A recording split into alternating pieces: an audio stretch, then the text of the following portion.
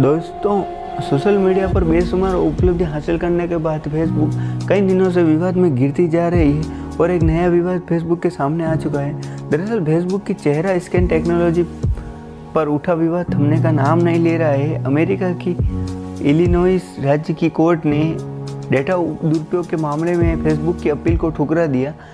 Illinois के लोगों ने फेसबुक पर 2.48 लाख करोड़ रुपए का केस किया है। अगर फेसबुक इस मामले में केस हारता है तो उसे सत्तर लाख लोगों के को प्रति व्यक्ति इकहत्तर हज़ार रुपये से साढ़े तीन लाख पचपन हज़ार रुपये तक का जुर्माना के तौर पर देने होंगे। अब इस मामले में सुप्रीम कोर्ट के हस्तक्षेप के बाद सुनवाई होगी।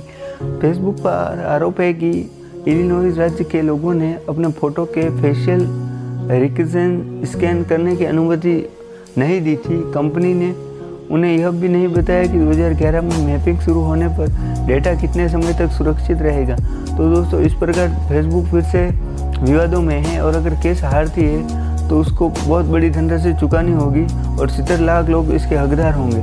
तो दोस्तों, ऐसे ही और जानकारियों के लिए हमारे इस टेक्निकल सपोर्ट चैनल को प्यार दें लाइक करें शेयर करें सब्सक्राइब करें।